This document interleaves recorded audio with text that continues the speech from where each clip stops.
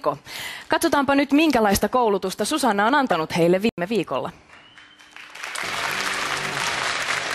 Seuraava biisi mä haluan omistaa mun koiralle Rikolle, joka on täällä messissä, niin kuin joka perjantaiseen tapaan. Tässä teille Stooges ja I Wanna Be Your Dog. Now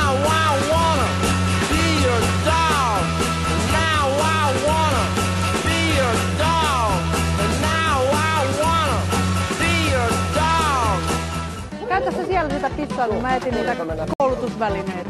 Joo, no tehtävät ihan naurettavia, kun jos mä en opi niitä, et mitä, enkä ymmärrä, että mitä niistä pitää tehdä, niin miten helkkaris Riko oppii niin kun ne Älä hirveästi heittele, niin mennään ensin ottaa no hyppynoudut ja leikitään sitten taas sen jälkeen. Öö, kuuliks sä? Kuulin. Onneksi teillä on mut. Niin, niin. Hieno kontakti.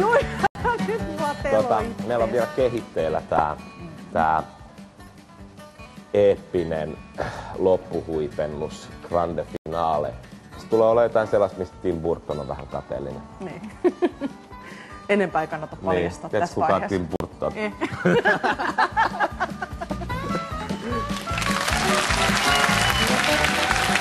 Tervetuloa Jussi Kuusysi ja Riko. Kahdeksan pari aloitti kisan, nyt jäljellä neljä.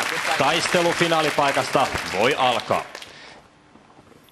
Ja liikkeelle merkistä ja siitä punaisen täplän vierestä. 90 sekuntia aikaa. Ensinnä pysähdytään tuolle punaiselle pisteelle. Maahan, hyvä. Näin. Ja sen jälkeen Jussi käy pyöräyttämässä tuota onnenpyörää. Nyt on kyseessä tämä rallitottelevaisuus, eli tuo onnenpyörä nyt määrittelee seuraavan tempun. Tehtävät ovat melko yksinkertaisia ja eipä nyt kovin lujaa pyöräytettykään. Ja oikea vastaus oli tällä kertaa 360 käännös oikealle. Ja sinne lähdetään tuolta punaiselta, eli mennään ensin sinne punaiselle pisteelle. Riko, tule tänne. No joo, no Riko käy yleisön kautta tarkistamassa, että onko tänäänkin asiantuntevaa yleisöä paikalla. Kelpaa, voidaan jatkaa. Eli siitä lähdetään tuonne punaiselle pisteelle ihan kävellen ja siellä tehdään sitten tämä temppu, joka on 360 astetta käännös oikealle siis koiran kanssa. Eli koiran kanssa käy, käydään ympäri. Kuten sanottu, rallitottelevaisuudessa ei ole temput niin hankalia, mutta ja sitten takaisin punaiselle, mutta siis onnenpyörä määrittelee mikä temppu tehdään. Ja siellä vielä kertaalleen sama juttu, eli 360 astetta.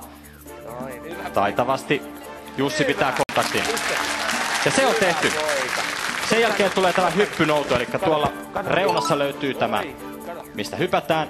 Ja sen jälkeen Rikon pitäisi noutaa. Hypyn jälkeen tämä lelu hyvin tuli. Ja tuli myös takaisinpäin. Erittäin näppärästi. Ja lopuksi vielä se tuuletus. Kuinka Riko tuulettaa, jos voitto tulee? Riko on puhunut. Nyt on tuomareiden vuoro. Hienosti. Noin. Hyvin meni, Riko. Oliko se voittajien tuuletusta? Joo, me ollaan aina tuuletettu noin ja me kelattiin, ei sitä nyt tähänkään muuteta. Ei hyvä, ei, niin. ei kannatakaan muuttaa. Hei, teidän kouluttaja kertoi, että te olette lähinnä pitänyt hauskaa viime viikolla. Joo, meillä oli niin kuin Dumarit sanoi viime kerralla, että kontakti vähän hakuses, niin vietettiin noin tehtäviä harjoittelu vähemmällä ja enemmän vaan tuota kontaktia leikittiin ja oltiin niin No niin, yhdessä. Tällä lailla. Se näytti toimineen. No niin, se toimii. Meillä on ollut paljon kivempaa tolla lailla. No niin, mitäs tuomarit tähän sanoo? Tervetuloa tuomarit Kai Pelkonen, Janita Leinonen ja Stefan Lindfors. Ja ensimmäisenä Jussin ja Rikon suorituksen kommentit Kailta. Täytyy varmaan hankkia tämä Burken kirja, koska vaikka mäkään häntä tuntenut, niin ilmeisesti hän on antanut hyviä ohjeita tämän kaiken kaikkiaan tämän suorituksen osalta. Tässähän oli nähtävissä se, mitä viime kerralla odottelin kovasti. Tämä meni hienoa, taas varsin hyvin putkeen. Hienoa. Hienoa. No entäs Janita? Mä olen täysin myyty. Ja noin halvalla. Riko. Stefan.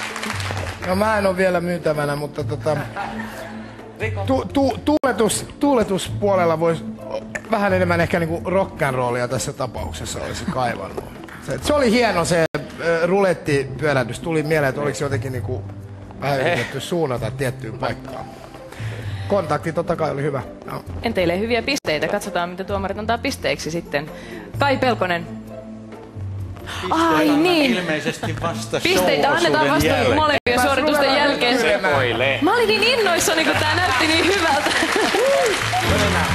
Kiitos Jussi ja kiitos